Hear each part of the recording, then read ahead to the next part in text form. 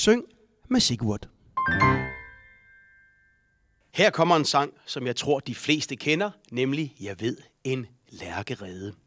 Musikken til den er skrevet af Karl Nielsen, det er ham her, og han voksede op sammen med sine 11 søskende i det her lille bondehus på Fyn.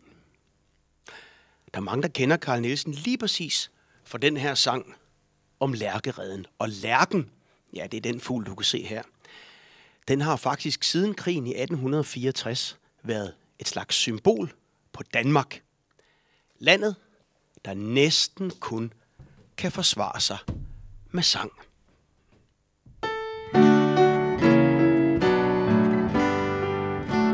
Er I klar? Så synger vi.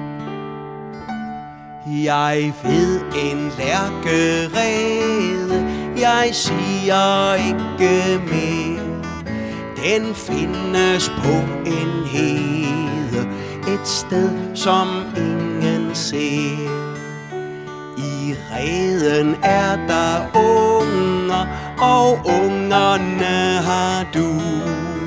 De pipper, de har tunger, og reden er så lun.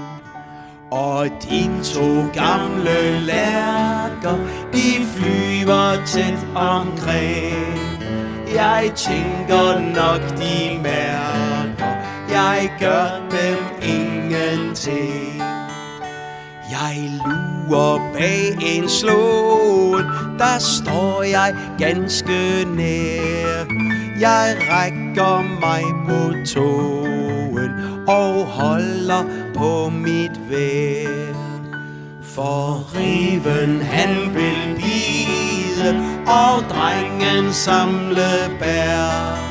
Men ingen skal få vide, hvor lærke